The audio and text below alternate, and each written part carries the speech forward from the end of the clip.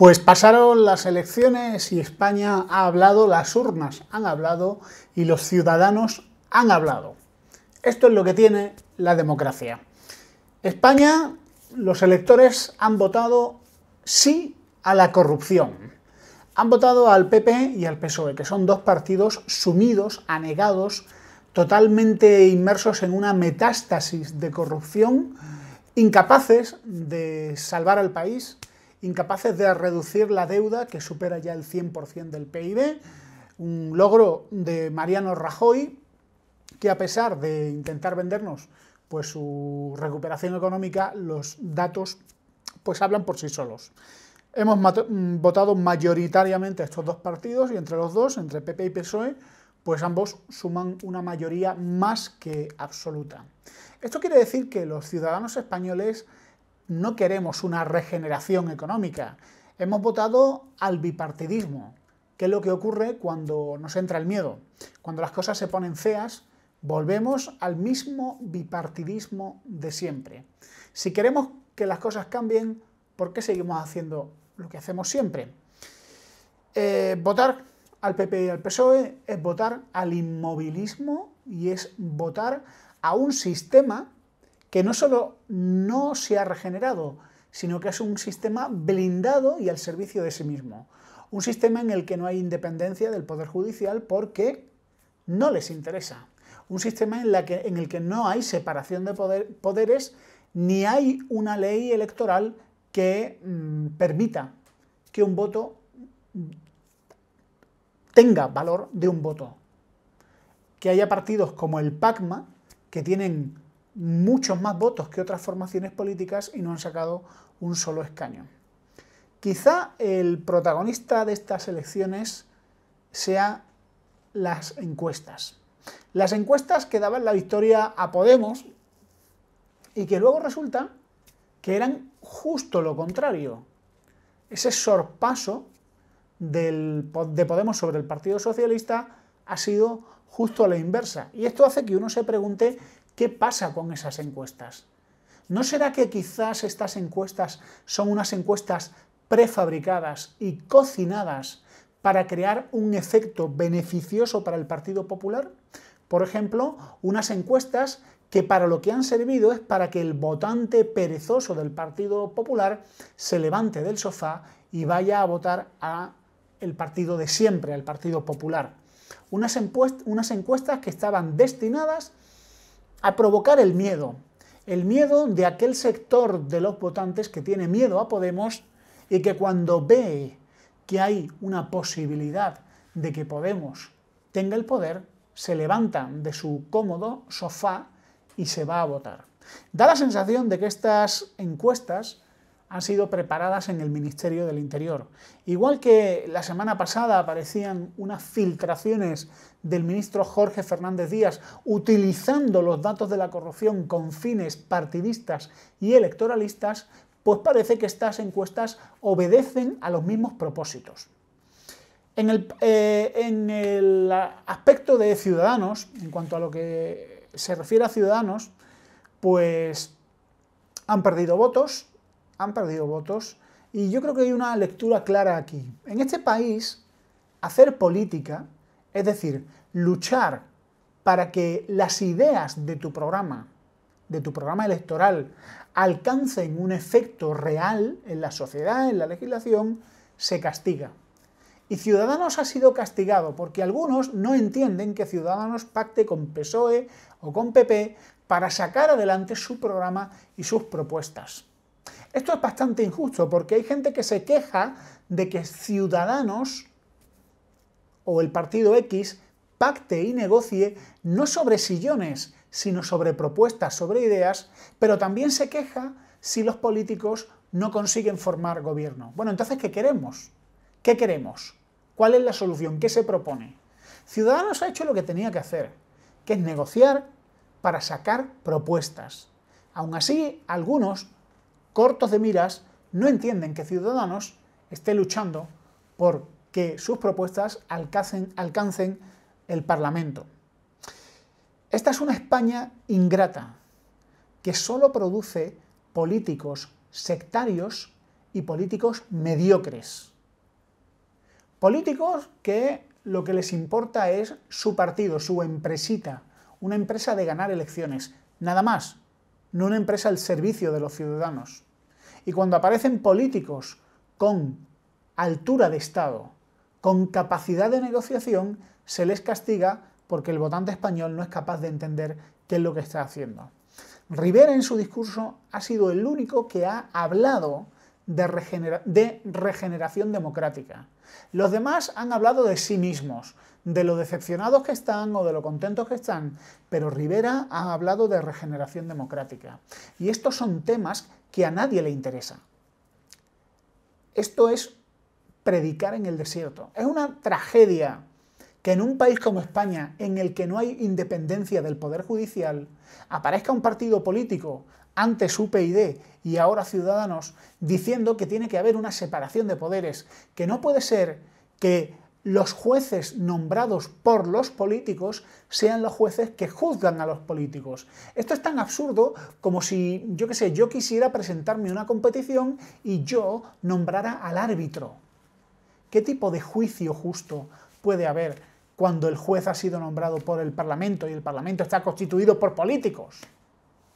Esto es una tragedia. Luego a los partidos políticos se les llena la boca hablando de corrupción, que van a luchar contra la corrupción, pero no dicen cómo van a hacerlo.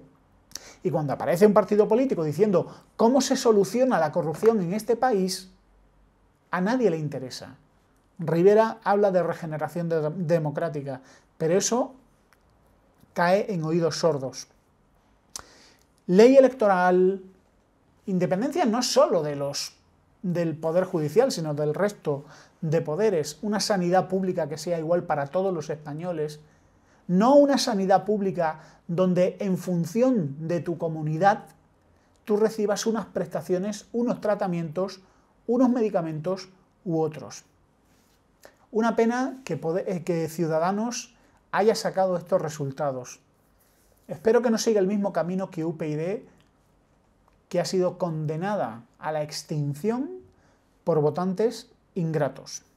En el caso de Podemos, eh, creo que era el economista Lacalle que en Twitter ponía una foto donde salía Pablo Iglesias cari acontecido junto con todos sus demás socios y decía la sonrisa del cambio. Una cruel estampa para un partido que ellos mismos habían sido engañados por esas encuestas, seguramente manipuladas. No tengo, no tengo pruebas, no tengo la constancia, pero sospecho que, que lo fueron. Yo no soy votante de Podemos y es más, he hablado muy críticamente de lo peligroso que sería que se llevara a cabo el programa de Podemos. Pero hay que reconocer cosas siendo justo y siendo ecuánime. Y una cosa que hay que reconocer es que Podemos ha hecho una gran campaña. Pablo Iglesias se ha sentado frente a auditorios y se ha sometido a preguntas de gente. Si bien es cierto que el auditorio era bastante favorable, pero Pablo Iglesias no ha tenido ningún miedo en ir a la COPE o en ir a otros sitios hostiles. Cosa que otros políticos no han hecho. Quizá la campaña de Podemos ha sido demasiado blandita. Muy bien construida, por supuesto, pero apelando demasiado a las emociones, la sonrisa, la ilusión, en vez de propuestas. Han querido ser demasiado moderados y se han pasado en la frenada de la moderación y se han metido en, una campaña sensiblera, blandita y bastante bobalicona que no ha funcionado como ellos esperaban. Podemos e Izquierda Unida han sacado menos votos juntos que si hubieran estado separados. Así que, al menos en estas elecciones, la alianza Podemos-Izquierda Unida no ha funcionado.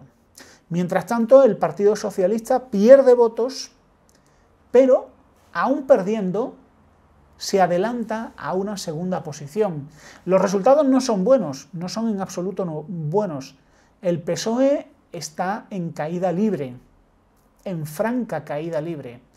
No convence mm, ni suma votos, pero con todo y con eso, ahora mismo es la segunda fuerza política del país y ha recibido muchísimos votos. Pero es igual que votar al PP. Una vez más, el votante español vota a ladrones. Y como decía Julio Anguita, si el pueblo vota a ladrones, el problema no es de los ladrones. Ellos son ladrones. El problema es del pueblo. Me da mucha rabia que el partido animalista, cuyas propuestas no todas comparto, haya sacado más de 284.000 votos y ha sacado cero diputados, cero escaños, mientras que Coalición Canaria con 77.000 votos tiene un escaño. O el PNV, que ha sacado 286.000 votos, unos pocos miles de votos más, tiene cinco escaños. Esta es la regeneración democrática de la que habla Rivera y que es necesario con urgencia empezar a poner en marcha. ¿Qué es lo que va a pasar a partir de ahora? Pues en el podcast yo decía que PP eh, y PSOE están condenados a entenderse. Ahora mismo la suma de votos PP y PSOE constituyen la única, la única mayoría absoluta. En justicia y en democracia debería de gobernar un gobierno constituido por PP y PSOE, ya que son los partidos que han reunido más votos y sería la opción más democrática, porque tendría en cuenta el mayor número de españoles que han votado a estas dos opciones. Por supuesto, respetable el voto.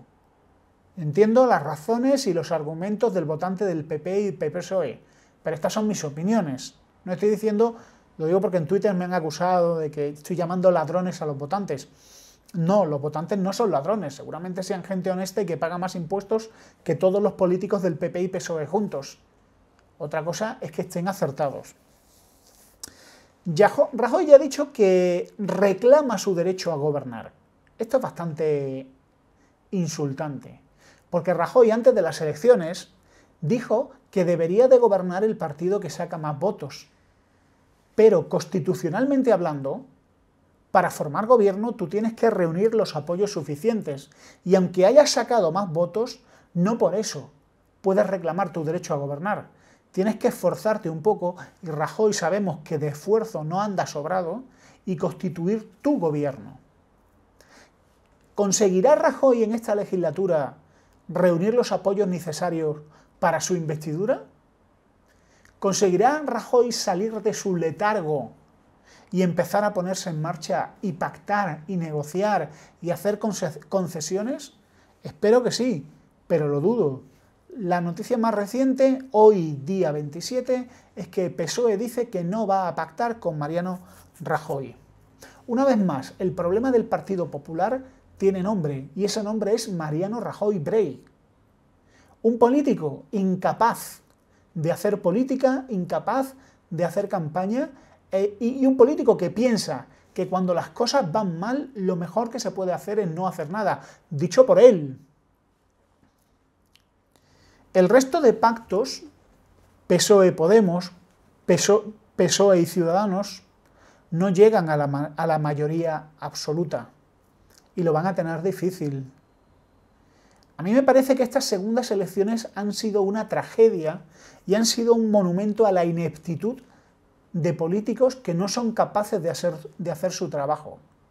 Rivera sí quería negociar, Pedro Sánchez también, pero Rajoy, el Buda inmóvil, fue incapaz de mover un dedo. Esperemos que esta vez sea capaz, porque unas terceras elecciones catapultarían el absentismo a niveles desconocidos hasta ahora. Y si es baja la desconfianza de los españoles en sus políticos, lo es ahora mucho más. Hace poco hablaba con un amigo que una de las cosas que hace falta en España es un cambio generacional. Todavía hay demasiado votante anciano que siempre va a votar al PP o que siempre va a votar al PSOE. Y que son una especie de valores seguros en tiempos revueltos. Lo que sí es cierto es que ha vuelto a haber elecciones y hemos vuelto a cambiarlo todo para que todo siga igual.